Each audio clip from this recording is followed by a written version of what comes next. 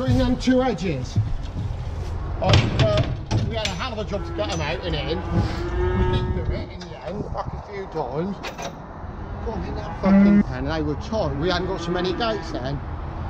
Them old gates, they, they started shuffling one side, a fucking two ends folded round, like, you know, sort of went that way, made it even narrower. Then the couple that trying to turn over. One side was, I had to let them out in the end. I shit myself.